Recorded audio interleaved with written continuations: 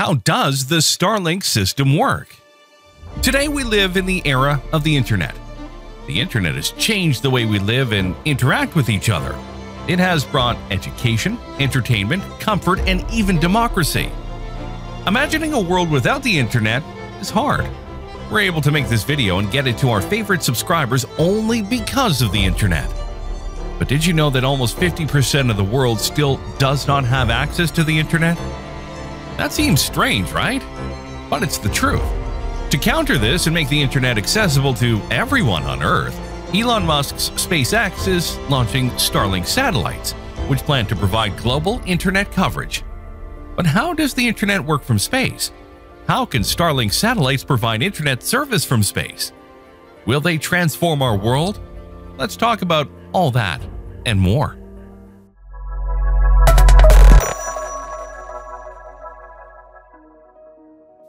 Starlink is a global initiative by SpaceX to create a global broadband network by using a constellation of low Earth orbit LEO satellites to provide high-speed internet services. This system is ideally suited to provide internet coverage in rural and geographically isolated areas where internet services do not exist. Starlink uses satellite internet service technology that has been around for decades. Instead of employing cable technologies like fiber optics to deliver internet data, a satellite system sends radio signals across space. Ground stations provide signals to satellites in space, which then transfer the information to Starlink users on Earth.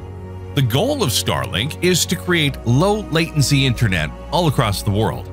However, Starlink isn't the only company today in the competition of providing internet via satellites. OneWeb, Amazon Kuiper, Viasat, etc. are all targeting this new thriving market. But SpaceX edges past everyone because of the following reasons. Starlink employs thousands of tiny satellites rather than a few huge ones. Starlink employs LEO satellites that orbit the Earth at only 300 miles above sea level. This reduced geostationary orbit increases internet speeds and decreases latency. The most recent Starlink satellites contain laser communication parts that allow signals to be sent between satellites, minimizing reliance on several ground stations. In the near future, SpaceX plans to launch up to 40,000 satellites, assuring worldwide and distant satellite coverage with fewer service interruptions. Starlink has the benefit of being a subsidiary of SpaceX, which in addition to launching Starlink satellites, also undertakes partner launches on a regular basis. Due to the significant costs involved, other satellite internet providers may be unable to arrange frequent satellite launches. Despite various big achievements by SpaceX with their Starship or Crew Dragon programs, Starlink remains the most frequently launched project by SpaceX. Elon Musk recently stated that SpaceX plans to do a Falcon 9 launch every week, and most of them might do Starlink launches if not any major missions. Even the upcoming Starship launch vehicles will be used to launch bigger batches of Starlink satellites and upcoming Starlink 2.0 versions in the future. So how does satellite mega constellations like Starlink work? And why do they need so many darn satellites? The Starlink satellites are small sat class CubeSats of about 100 to 500 kilogram mass and are launched in low Earth orbit at an altitude of about 600 kilometers only. SpaceX launched their first batch of 60 Starlink satellites back in May of 2019, each weighing around 230 kilograms. The initial plan of SpaceX was to launch a satellite constellation made up of 4,000 cross-linked satellites. That number today has increased much more.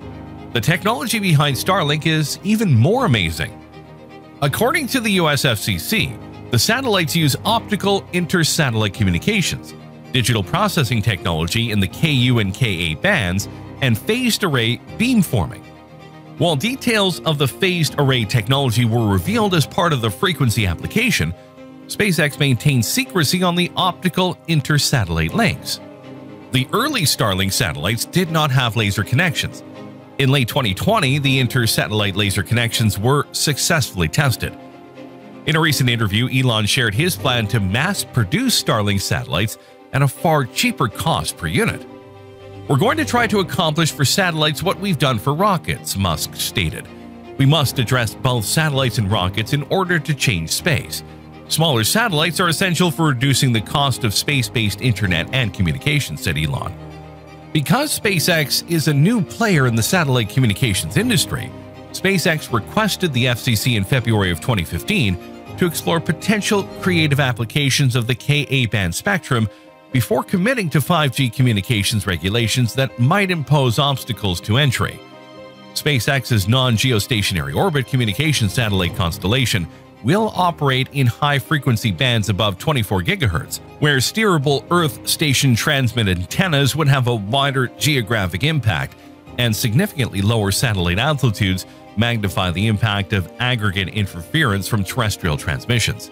The minimal theoretical round-trip delay for internet transmission through a geostationary satellite is 477 milliseconds, although contemporary satellites have latencies of 600 milliseconds or higher.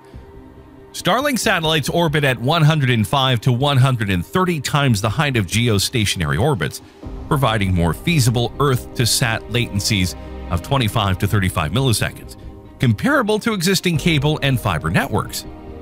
The system will employ a peer-to-peer -peer protocol that is said to be simpler than IP version 6, as well as end-to-end -end encryption. For orbit raising and station holding, Starlink satellites employ Hall effect thrusters using krypton gas as the reaction mass. When compared to a comparable electric propulsion system operated with xenon, krypton Hall thrusters demonstrate much higher flow channel erosion, although krypton is far more common and has a lower market price. That is how the satellite constellation is designed to work. But the technology does not connect directly from satellites to phones, which is the case with various constellations like Thuraya, Iridium, Inmarsat, and Globalstar. Instead, it uses flat user terminals the size of a pizza box that follows the satellites using phased array antennas. The terminals must be placed any place under the view of the sky.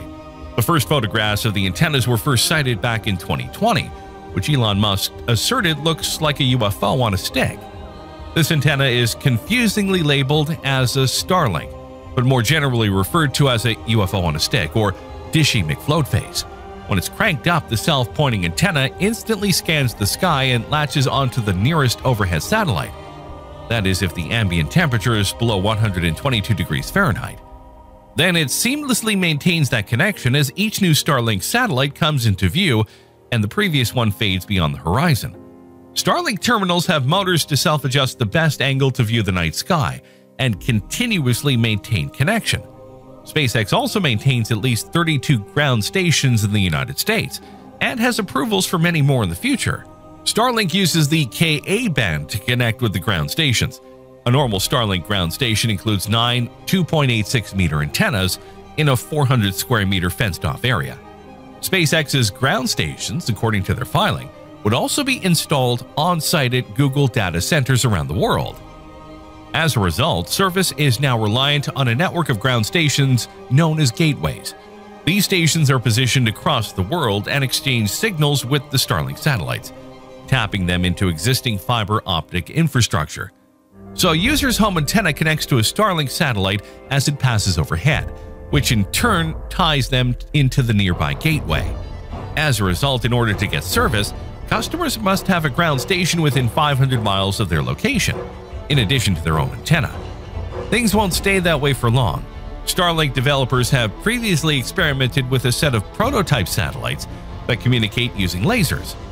Rather than linking people to a local ground station, the lasers would allow satellites to communicate directly at the speed of light, which is quicker in space than fiber optic cables. Once launched, a Falcon 9 launch vehicle deploys its batch of 60 Starlink satellites into a, an initial parking orbit at around 270 miles or 440 kilometers above Earth. From there, the individual satellites unfurl their solar panels and slowly start to spread out around the planet. Each satellite also uses its rockets to progressively propel itself to a greater height, rising into its eventual final orbit some 100 miles or 160 kilometers above the International Space Station's orbit. The satellites become dimmer as they ascend, reflecting less sunlight back to Earth. In the past, communication satellites for things like TV utilized much higher orbits, this is because sitting relatively far from Earth makes them visible to satellite dishes across a larger geographical area. Starlink will be able to solve high speed internet problems in rural areas. And with more and more Starlink satellites launching in the future, almost all parts of the world will have internet connectivity. Starlink satellites will even help with internet communication on Mars, as in the future humanity might look to terraform the planet. So, what do you think about Starlink's mega constellation? Will it be able to provide internet connectivity all over the world? Let us know what you think in the comment section below and share the video with your friends.